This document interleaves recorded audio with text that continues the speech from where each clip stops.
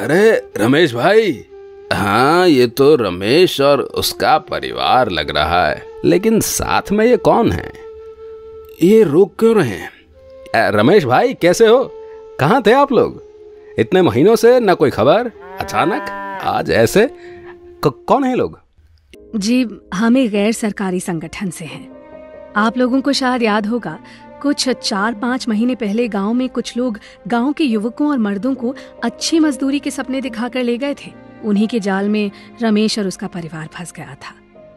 रमेश आप ही क्यों नहीं बताते कि आपके साथ क्या बीता?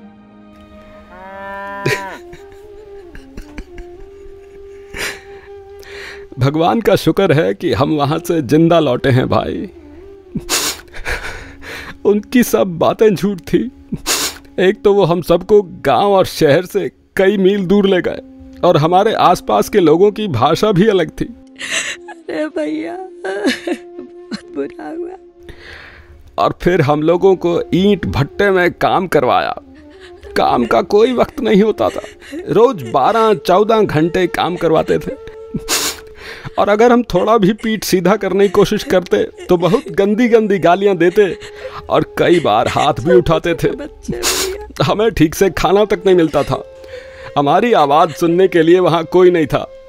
ना उन्होंने हमें तनख्वाह दी और ना वहाँ से जाने दिया। भाई, एक बार उनकी आपस की बात सुनकर मालूम चला कि उन्होंने हम लोगों को बंधक बना लिया है। और फिर हमें किसी तरह अरुण सर और कल्पना मैडम का नंबर मिला और भगवान भला करे इनका। इन्होंने हमें उनके चंगुल से बाहर निकाला। हमारी संस्था आप जैसे भाई और बहनों के लिए काम करती है और सरकार के साथ मिलके आपके पुनर्वास के कार्य में सहायता करते हैं।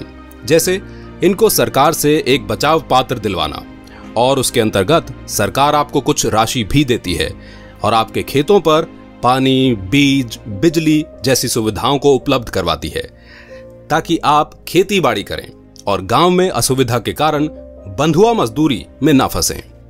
आप लोगों से दरख्वास्त है कि आप लोग सतर्क रहें और अपने अधिकारों के बारे में जानें। आपकी जागरूकता ही आपका बचाव है।